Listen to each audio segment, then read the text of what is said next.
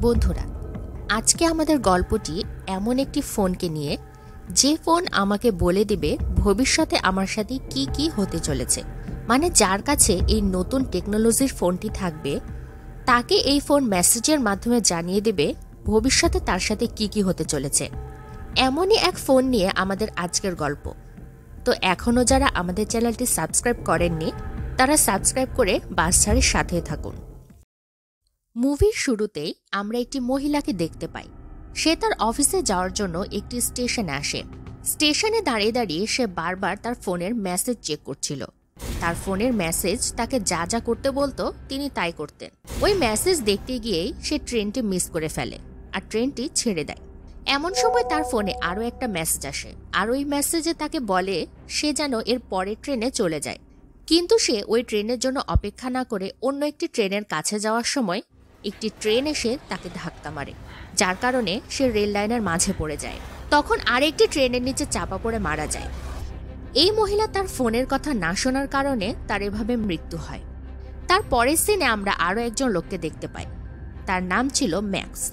সে একজন ID engineer. সে কোম্পানির security system install করে এবং সিকিউরিটি বাড়ানোর কাজগুলো করে থাকে, যেন কেউ কোম্পানির সিস্টেম হ্যাক করতে না পারে। যখন সে তার সব কাজ শেষ করে আবার তার হোটেলে যায়, তখন ওই হোটেলের কাউন্টার লেডি তাকে একটা পার্সেল দেয়, যেটা ম্যাক্সের নামে এসেছিল।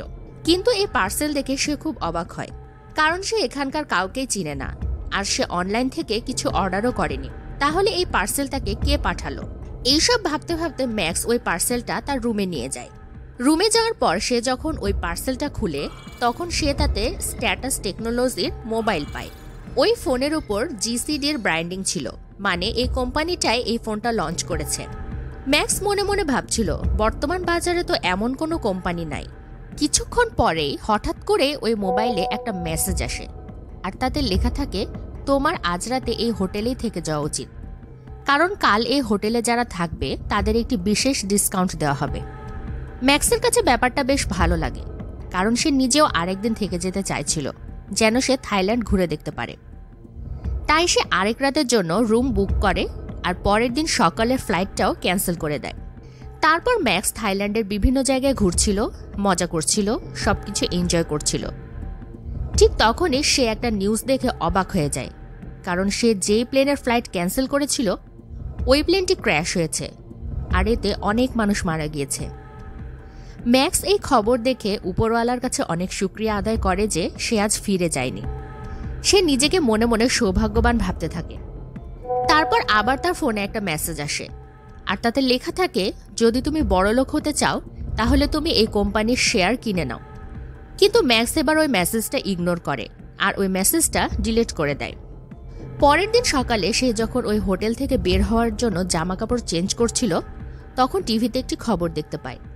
তাতে দেখাচ্ছিল, ফোন তাকে যে শেয়ারটি কিনতে বলেছিল, তার দাম এখন কয়েক গুণ বেড়ে গিয়েছে।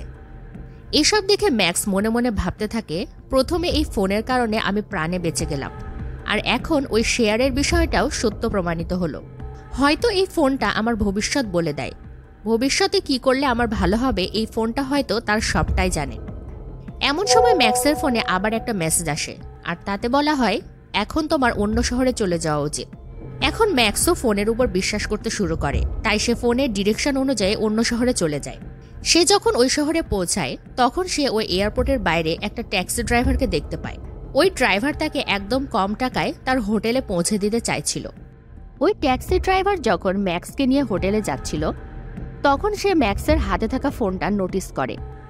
সে ওই ফোনটা দেখে খুব অবাক হয় আর বলে, তোমার ফোনের টেকনোলজি তো একদম আলাদা। আমি এর আগে কখনো এমন ফোন দেখিনি। আর নাই কখনো এমন ফোনের কথা শুনেছি। তারপর ওই ট্যাক্সি ড্রাইভার ম্যাক্সকে তার একটি কার্ড দেয় আর বলে, আমি একজন টেলিকমিউনিস্ট। সে টেকনোলজির নতুন নতুন জিনিস বানায়। এভাবে কথা বলতে বলতে ম্যাক্স তার হোটেলে পৌঁছে গিয়েছিল। মূলত তার ফোনই তাকে এই হোটেলে আসতে বলেছিল। সে ওই হোটেলের ভেতরে যেতেই তার ফোনে আরেকটা মেসেজ আসে। ম্যাক্স ওই মেসেজটার কথা মতো ক্যাসিনোতে যায়। ম্যাক্স একদমই ক্যাসিনো খেলতে পারতেন না। তাই ওই মেসেজ তাকে যে মেশিনের কাছে যেতে বলে, সে ওই মেশিনের কাছে যায়। কিন্তু সেখানে আগে থেকে এক লোক বসা ছিল। এমন সময় ম্যাক্সের ফোনে আরেকটা মেসেজ আসে। আর তাতে লেখা থাকে, মেশিনের জ্যাকপট লাগতে চলেছে। তাই ম্যাক্স ওই ব্যক্তিকে মেশিন থেকে সরে যেতে বলে। কিন্তু ওই ব্যক্তি এতে রাজি না হলে সে ওই ব্যক্তিকে অনেকগুলো টাকা দিয়ে ওই মেশিনের কাছ থেকে সরে যেতে বলে। তারপর ঠিক এমনটাই হয়। ম্যাক্স একবার ক্লিক করতে ওই মেশিনে জ্যাকপট লেগে যায়। আর ম্যাক্স অনেকগুলো টাকা পায়। অন্যদিকে ক্যাসিনো টিম তাকে ক্যামেরায় দেখছিল আর মনে মনে ভাবছিল, সে কীভাবে জানলো এই মেশিনে জ্যাকপট লাগতে চলেছে? ম্যাক্স যে টাকা পেয়েছিল তা দিয়ে অনেকগুলো কার্ড কিনে নেয় আর আবার খেলতে বসে। এবারও সে জিতে যায়। এসব দেখার পর সেখানকার সিকিউরিটি ম্যাক্সের উপর সন্দেহ করতে শুরু করে। কারণ সে বারবার তার ফোনের দিকে তাকাচ্ছিল আর বাজি ধরছিল। তারপর সে যখন ওই ক্যাসিনো থেকে বের হয়ে যাচ্ছিল তখন ওই ক্যাসিনো সিকিউরিটি গার্ড তাকে বলে, যদি তুমি পরের বার এখানে খেলতে আসো, তাহলে ফোন আনতে পারবে না। কারণ তারা বুঝতে পেরে গিয়েছিল, নিশ্চয়ই এই ফোনের মধ্যে কিছু একটা আছে, আর এই ফোনই তাকে বলে দিচ্ছে কীভাবে খেলতে হবে। সিকিউরিটি টিমের সন্দেহের কারণটা বুঝতে পেরে সে ওই ট্যাক্সি ড্রাইভারকে কল করে আর তাকে বলে, তুমি কি আমার জন্য এমন একটা ডিভাইস বানাতে পারবে, যেটার ব্যবহার করে আমি ফোন না দেখে ফোনে কি মেসেজ আসছে তা জানতে পারব? ওই ট্যাক্সি ড্রাইভার ম্যাক্সের কাছে একটু সময় চায় আর বলে হ্যাঁ আমি চেষ্টা করব। ম্যাক্স তার রুমে যাওয়ার সময় এক দম্পতিকে দেখতে পায় যারা ঝগড়া করছিল। ম্যাক্স তাদের ঝগড়া থামানোর চেষ্টা করে, কিন্তু ওই লোকটা থামতে চায় না। তাই ম্যাক্স যখন তাকে আটকায়, তখন সে ম্যাক্সকে একটা জোরদার ঘুষি মেরে দেয়। এতে ম্যাক্স অজ্ঞান হয়ে যায়। এখানে জানা যায়, এই দম্পতিরা আসলে ওই ক্যাসিনোর সিক্রেট এজেন্ট ছিল। মূলত তারা আসছে ম্যাক্সের ফোনে কি এমন আছে যা দেখে সে এত টাকা জিতল তা দেখার জন্য। তাই তারা তার ফোনে সকল ডেটা হ্যাক করে নেয়। যখন ম্যাক্সের জ্ঞান ফিরে আসে, তখন ওই মেয়েটা ম্যাক্সকে ধন্যবাদ জানায়। ম্যাক্সের জ্ঞান ফেরার আগে তারা ক্যাসিনোর ম্যানেজারকে ম্যাক্সের সকল ডেটা পাঠিয়ে দিয়েছিল। কিন্তু এখনও তারা বুঝতে পারছিল না ম্যাক্সকে কে এসব মেসেজ পাঠাচ্ছে। অন্যদিকে ড্রাইভারও ম্যাক্সের জন্য নতুন একটি ডিভাইস বানিয়ে নিয়েছিল। ম্যাক্স ডিভাইসটা তার কানে পড়ে নেয় আর আবার ক্যাসিনোতে খেলতে যায়। তারপর মেসেজ তাকে যা যা বলে, সে তাই তাই করতে থাকে। সে বারবার টাকা জিতছিল। এতে সেখানে থাকা সিকিউরিটিরাও বিরক্ত হয়ে যায়। তাই ওই ক্যাসিনোর ম্যানেজার তাকে সেখান থেকে ঘাড় ধাক্কা দিয়ে বের করে দেয়। আর এতক্ষণে সেখানে এফবিআই এর এজেন্ট এসে পড়েছিল। এফবিআই এর টিম ম্যাক্সকে ধরে নিয়ে যায় আর বলে, সত্যি করে বলো, তোমাকে কে এসব মেসেজ পাঠাচ্ছে? আসলে ম্যাক্স তো জানেই না কে তাকে এসব মেসেজ পাঠাচ্ছে, তাই সে তাদের কিছুই বলতে পারে না। তারপর এফবিআই ক্যাসিনোর ম্যানেজারকে ডেকে পাঠায়। সে যখন এফবিআই এজেন্টের কাছে যায় আর ওই অফিসার তাকে বলে, এরকম কেস আমাদের কাছে নতুন কিছু না। এর আগেও এরকম আরও অনেক কেস এসেছে। অনেক মানুষ এরকম ফোন পেয়েছে। ওই ফোন তাদের টাকা উপার্জনের পদ্ধতি বলে দিয়েছে, আর যখনই আমরা ওই লোকদের ধরে জিজ্ঞাসা করি, ফোনটা তোমরা কোথায় পেয়েছ? আর কে তোমাদের এসব মেসেজ পাঠাচ্ছে? তখন তারা কিছুই বলতে পারে না। সবচেয়ে অবাক হওয়ার ব্যাপার হলো, আমাদের এখান থেকে যাওয়ার কিছুদিন পরেই তারা মারা যায়। আর প্রতিবারের মতো আমরা এই ফোনের ব্যাপারে কিছুই জানতে পারি না। তারপর অফিসার ম্যাক্সের কাছে যায় আর বলে, তোমাকে আমাদের সাহায্য করতে হবে। আর বের করতে হবে ফোন কোথা থেকে এসেছে? অফিসার তার বসকেও ফোন করে বলে এখনও তারা কিছুই জানতে পারেনি। ফোন কোথা থেকে এসেছে? কিন্তু এখন ম্যাক্সও আমাদের সাহায্য করবে। তারা ম্যাক্সকে আবারও ক্যাসিনোতে পাঠায় আর বলে, এই মোবাইল হ্যাক করতে হলে তিনটি মেসেজের প্রয়োজন। তখনই আবারও ম্যাক্সের মেসেজ আসা শুরু হয়। এইবারও সে ওই মেসেজের কথায় খেলা শুরু করে। কিন্তু তারা হেরে যায়। তার একটি মেসেজ আসে যে, আমি জানি কেউ আমার ডেটা হ্যাক করার চেষ্টা করছে। এদিকে সে এফবিআই এজেন্ট মোবাইলের ডেটা হ্যাক করে ফেলে। যখন তাদের বস এটা দেখে, তখন সবাইকে যেতে বলে, যেন সে এই সব ব্যাপারে আগে থেকেই জানত। অফিসার তার বসকে ফোন করে বলে, তার বস তো আগে থেকেই কম্পিউটার সম্পর্কে জানে। কিন্তু সে এই বিষয়ে কাউকে কিছু বলে না। কারণ সে বললে সে নিজেও ফেসে যেত। অফিসার বলে, এটি আর্টিফিশিয়াল ইন্টেলিজেন্সের মাধ্যমে কাজ করে, যাকে সিকিউরিটির জন্য বানানো হয়েছিল। সব কথা শুনে বসের মনে হচ্ছিল সেটা কেউ হ্যাক করেছে। এরপর বস তার এক এজেন্টকে দেখা করতে বলে, যাকে দেখতে ম্যাক্সের মতো। তাকে ম্যাক্সের ফোন দেওয়া হয়েছিল। তাতে মেসেজ আসে, রাস্তা পার হও। যে এসে এটা করে একটা গাড়ি এসে তাকে ধাক্কা দেয়। তার সেখানেই মৃত্যু ঘটে। আসল ম্যাক্স এখনও জীবিত ছিল আর তার সাথে যে মেয়েটি ছিল, সে মূলত একজন এফবিআই এজেন্ট। কিন্তু ম্যাক্স এটা জানতো না। হঠাৎ সেই মেয়ে দেখতে পায় ম্যাক্সকে টার্গেট করে তার ঘরের দিকে একজন লোক গুলি করার জন্য রেডি হচ্ছে। সে বুঝে গিয়েছিল তারা ম্যাক্সকে মারতে চাচ্ছে। কিন্তু কেন? সেই ফোনের জন্য? এই কথা কেউ জানতো না। কিন্তু মেয়েটি সবাইকে মেরে দেয় আর ম্যাক্সকে বাঁচিয়ে ফেলে। এখন ম্যাক্স জেনে যায় এই মেয়েটি যার সাথে সে থাকছে, সে আসলে একজন এজেন্ট। আর তার সাথে ভালোবাসার নাটক করছিল। তখনই তারা জানতে পারে তাদের মারতে এফবিআই এর বস পাঠিয়েছিল। সেই মোবাইলের কথা সে কিছু জানত। আর তারা ভাবে ম্যাক্স তাদের সম্পর্কে অনেক কিছু জেনে গিয়েছে, তাই তাদের মারতে পাঠায়। ম্যাক্স এখন নিজেও জানতে চাচ্ছিল আসলে এই মেসেজ কোথা থেকে আসছে। সেখানে বসও তার উপর নজর রাখছিল।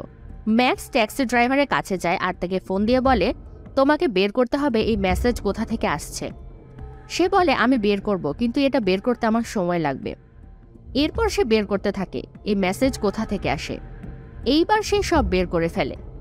সে বলে, এই মেসেজগুলো এক সুপার কম্পিউটার করছে, যাকে এআইবি বলে, যে এইসব নিজ থেকে চিন্তা করতে পারে। ম্যাথস সব কিছু গুলিয়ে ফেলছিল।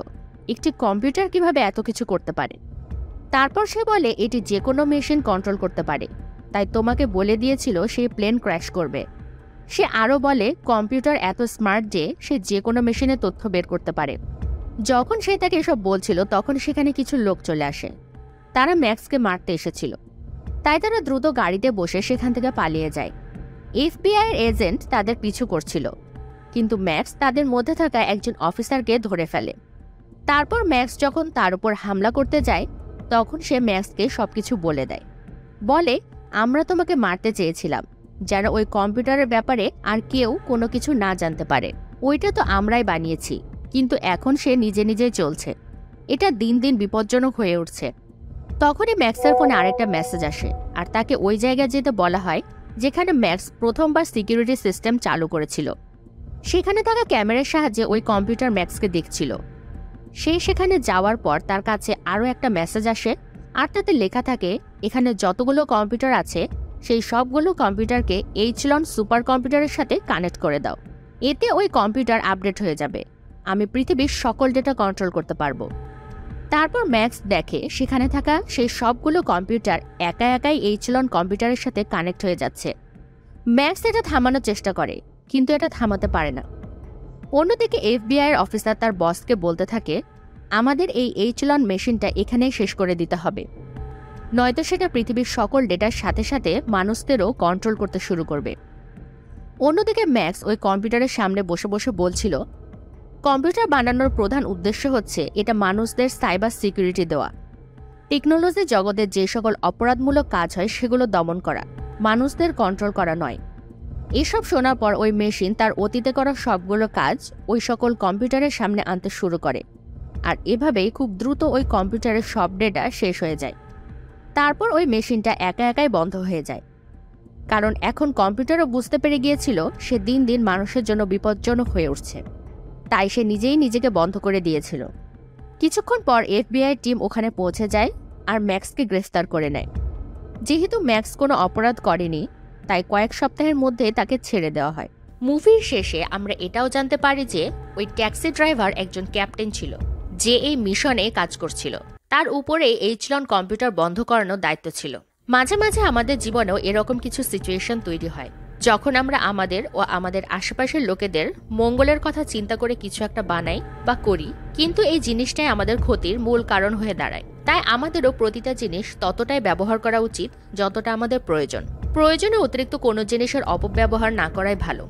বিশেষ করে মোবাইল ফোন এবং ইলেকট্রিক টেকনোলজির যে কোনো জিনিস। আর এই মেসেজটার মাধ্যমে আজকের মুভিটি শেষ হয়ে যায়।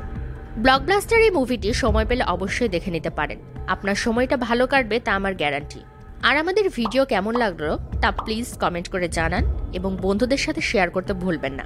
আর আপনি যদি আমাদের বাংস্টার চ্যানেলে নতুন হয়ে থাকেন তাহলে নিয়মিত movie explain in Bangla video দেখতে আমার চ্যানেলটি সাবস্ক্রাইব করে বেল বাটনটি প্রেস করে রাখেন, যাতে করে সকল মুভি এক্সপ্লানেশন ভিডিও আপনি দেখতে পারেন। তাহলে দেখা হবে পরের ভিডিওতে। আল্লাহ হাফেজ।